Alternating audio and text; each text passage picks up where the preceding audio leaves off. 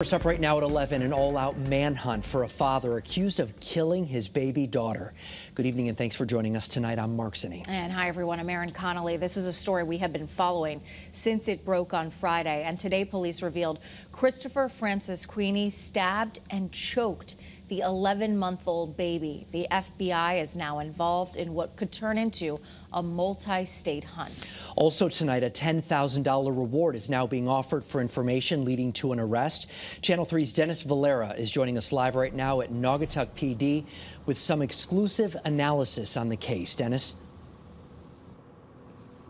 Mark and Erin, it first just started with Naugatuck Police, but now state, local, federal agencies all banding together to find this man. So we checked in with our law enforcement expert to go over the logistics for a manhunt. He says there is a lot in place to keep all law enforcement connected to hopefully find Francisquini fast. A couple stuffed animals and flowers now sit at the base of a telephone pole outside of the Francisquini home. The death of 11 month old Camilla is still hard to accept. This is something that is, it, it, tears at the very fabric of our community. Losing somebody so young who hasn't even had an opportunity to start their life yet.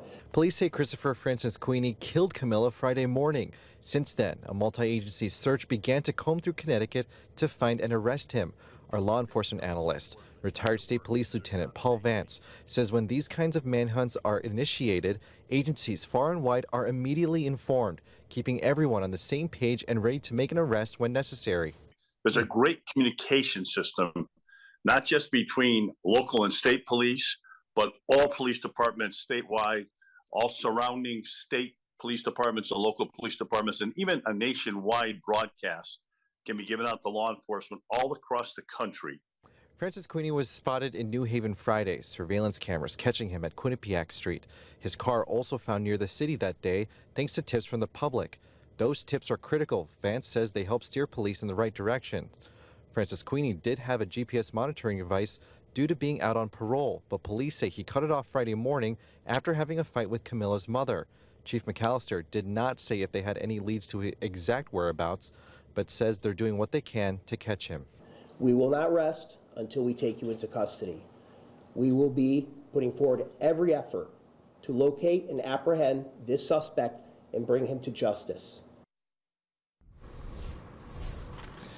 Again, anyone with information to where Francisquini could be could get up to $10,000 from the FBI. Also, another reminder Francisquini is considered armed and dangerous. We cannot say that enough. So if you do see him, please just call police immediately and do not approach him. We're live in Naugatuck. Dennis Valera, Channel 3, Eyewitness News. All right, Dennis.